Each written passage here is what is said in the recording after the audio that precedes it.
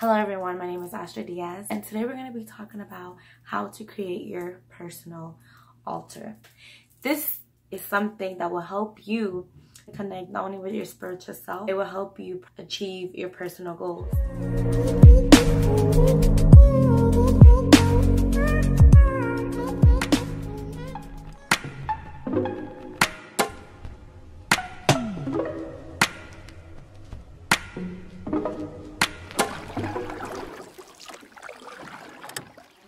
Think altar based witchcraft? No. Religion? No.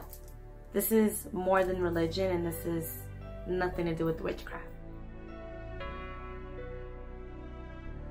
The altars are vocal points to spiritual connections with a church with temples. You know you can see an altar at um, an asian restaurant and you see that they have their little buddha um, altar in the front where they give offerings to their God with fruits or coffee, sometimes alcohol. Your great grandmother's house.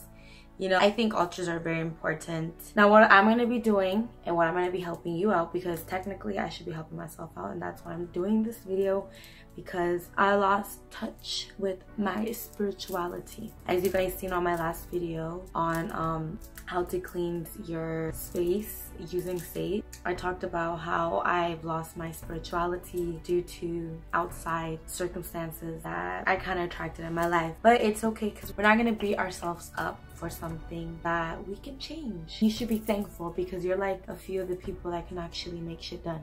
So I did a lot of research on YouTube because I didn't want to talk about something and not back up my facts. You know, I didn't want to have information to it. So I made sure I took notes.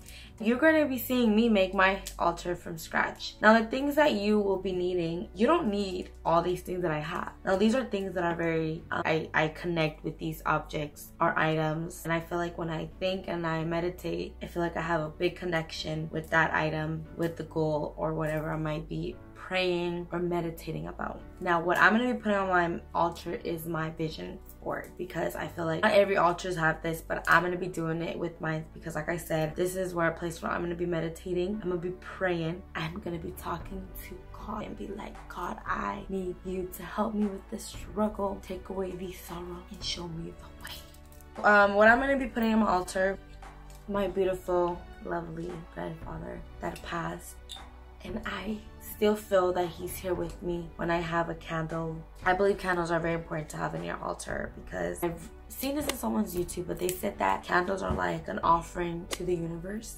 So um, meditate and say if I'm praying, I always talk to my grandfather. This man is always by my side.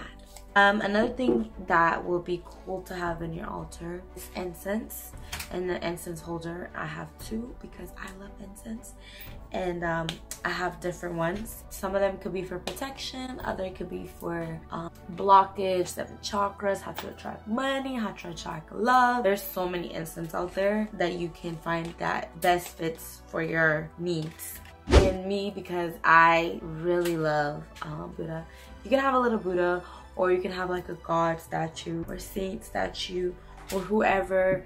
Um, you can have Nefertiti what I have, you don't have to have this either. I'm gonna be cleaning my altar. So before you get your altar ready, you must always cleanse your space, okay? Whether you do it with a sage, white sage, or what I use to clean my altar is Florida water.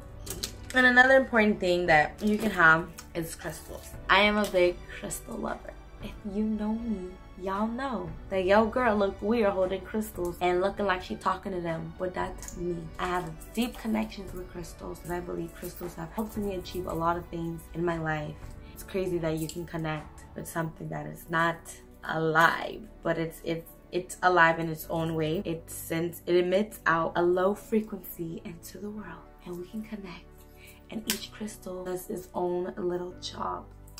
Let's get started so you guys can come along. Come let's go. Come on we're gonna be going over there. So we're gonna be using florida water. Let's focus on that.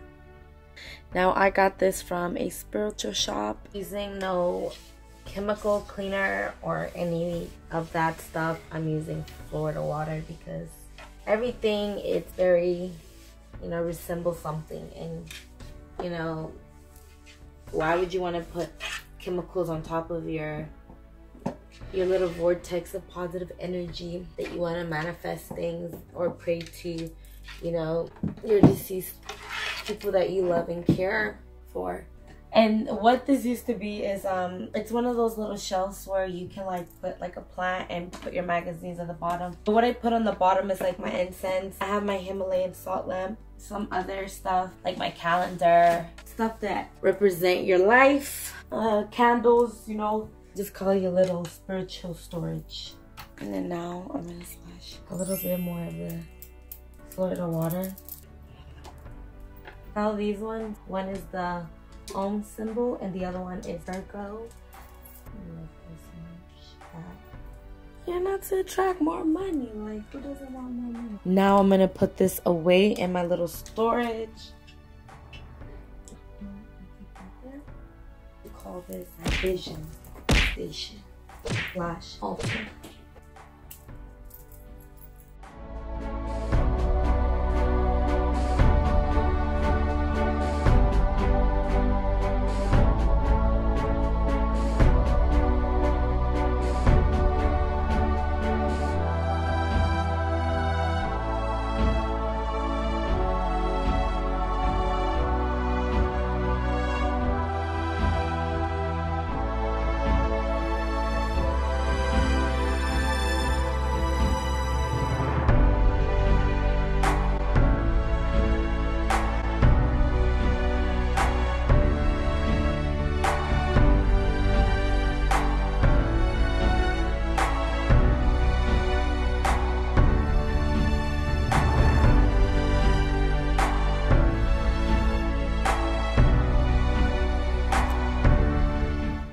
Gonna burn an incense and we're gonna be burning protection.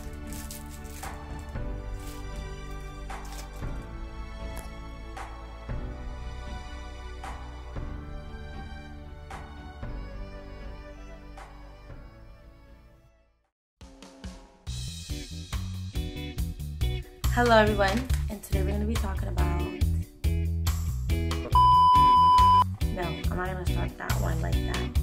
Hello everyone, my name is Jocelyn. And today we're gonna